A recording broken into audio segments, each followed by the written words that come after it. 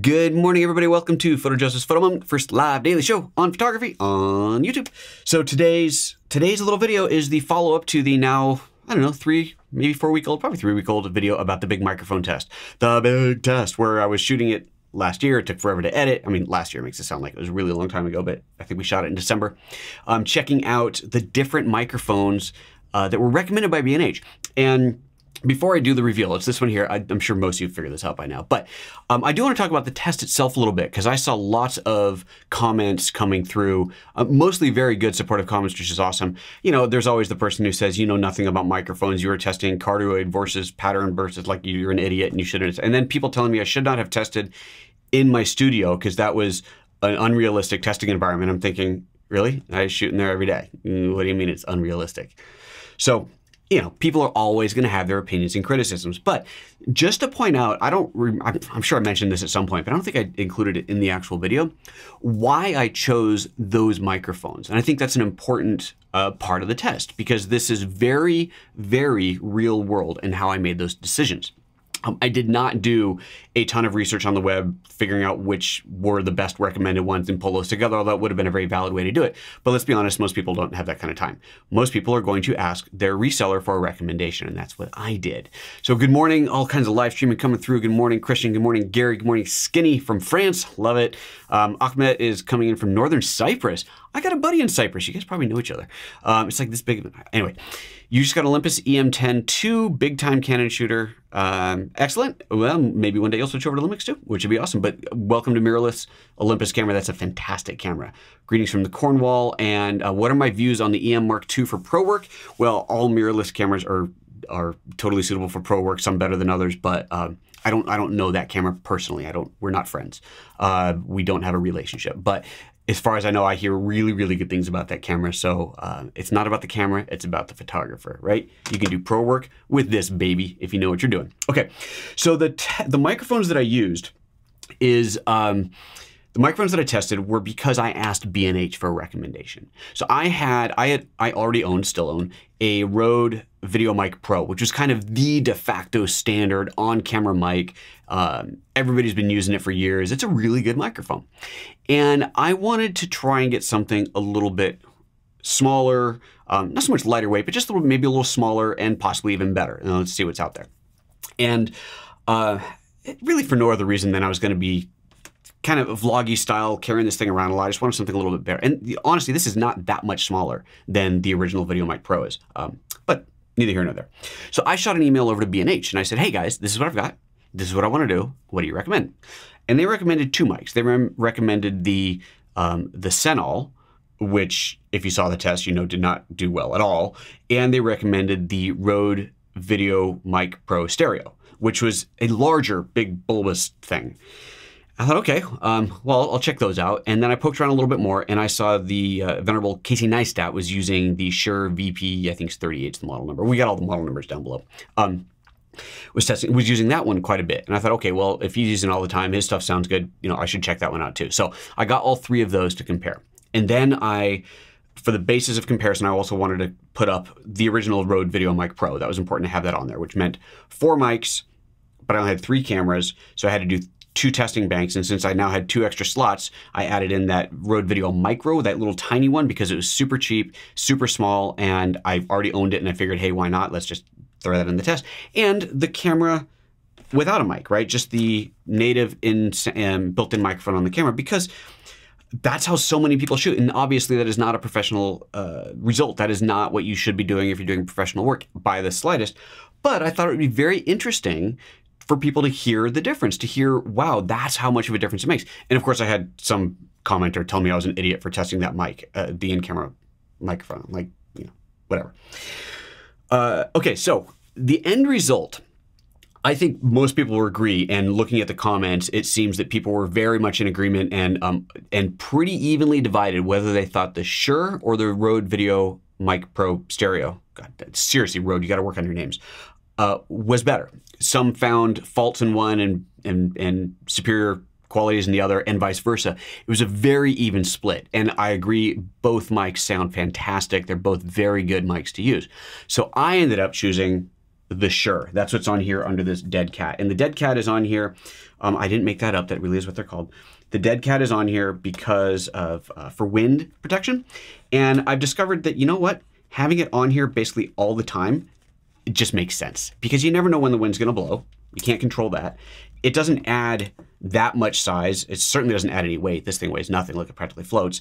And um, it also adds just, I don't know, a little bit of protection. I just, I, I think it's a good idea to have it on there all the time. So I leave it on there all the time. But there you go. The Shure the Shure VP83 LensHopper. I'm digging it. One of the really nice things on here, the switches are not easy to bump. Um, although it's kind of funny. If you look at one of Casey's old videos, he had accidentally bumped it um, and into a plus 20, which I had it in there on purpose just now.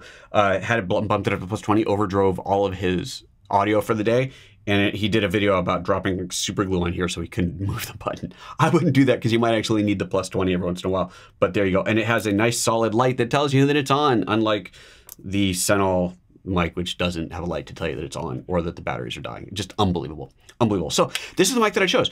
So why this one over the stereo? Uh, size was a big part of it. That stereo one, it's it's set up high. It's, I don't have them anymore. I had to ship it back, but it's set up high. It's a big bulbous thing. It wasn't as low profile as this. And had the audio quality been massively better on that one, I might have gone with it. But I don't didn't really care about stereo sound for the kind of stuff that I'm going to do run and gun with this. Um, this is lower profile. And remember, I'm I don't have it on here now. I've shown off the, we'll put a link to it here, the video where uh, I show off the little clip, the, the spider light holster I think that's right. Spider holster, spider light. Yeah, that's it. Spider light holster goes on here, clips onto my belt, and it hangs down. And it's a really nice, low profile. This mic doesn't get in the way. It's just a really clean setup, and I like it a lot. So I am really pleased with this mic. Uh, the battery has been insane. I put this is still the same battery that's in there from the tests, and I shot all through Mexico. I shot uh, all the GH5 test footage with it. I mean, I've been using this quite a bit, and that the battery's still going strong, so can't argue with that. Um, but yeah, overall, that's the one that I chose. And the other one's still a very, very good choice. I just I chose this one because I liked the shape, the profile of it. It fit better for what I was doing with it. So there you go. There's the result. That's the one that I kept. Uh, let's see here. Lots of comments coming through. Let's do a quick scroll back through here. Hey, from the Netherlands. Excellent in the Netherlands. The studio seems to be a real world location for recording to me. Yep. See, there you go. I mean, granted, if you're in a a, a, recording studio, you're likely more likely to be using a boom mic, which is what I've got up here, than you would be using an on-camera mic.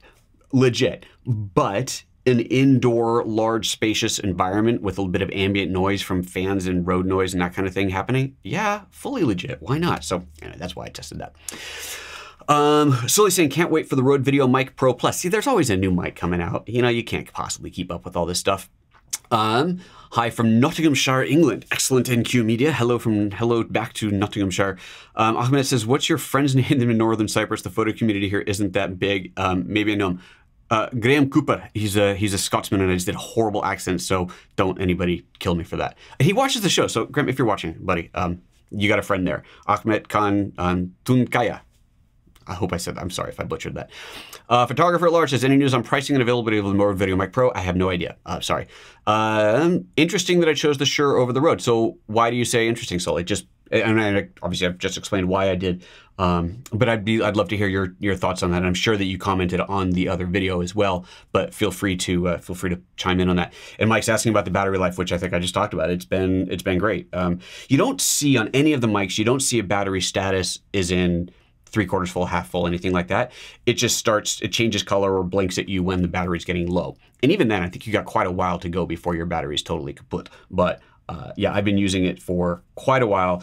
And you, when I'm shooting with it, incidentally, I don't turn the mic on and off. If I'm going out for the day, I turn the mic on and I just leave it on all day because the last thing I want to do is forget to turn it on, go to shoot something, and then realize, oops, that'd be bad. So I just leave the mic on. The battery's so good that, um, you know, why not? And it takes, what is it, a single AAA or double A? Uh, double A. And it's got one of my rechargeables in there too. And it's and the rechargeables don't usually last as long as your standard off the shelf batteries. Um, but yeah, it's been great. So so there you go. Super duper. Okay.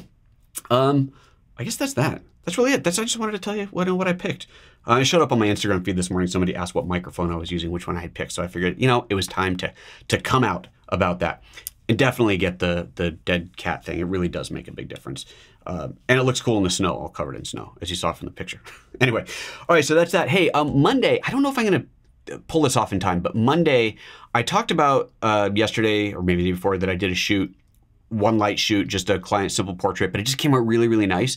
And um, I'm gonna I'm gonna do kind of a live shoot with that, get somebody to stand in there take a picture, and then bring it into Lightroom and process it. So we're going to do a whole kind of round robin um, process from shooting to processing and show what that that looked like. Just because it's it's a simple setup, but I just uh, mm, it came out so nice. I was really pleased with it. So I figure why not? We'll do that again. I just got to get somebody to stand in there, and I, I was going to have Ryan do it, but I realized that I kind of need him to operate the camera. So so there we go. Um, that's about it. Joining from Germany while traveling 150 miles per hour.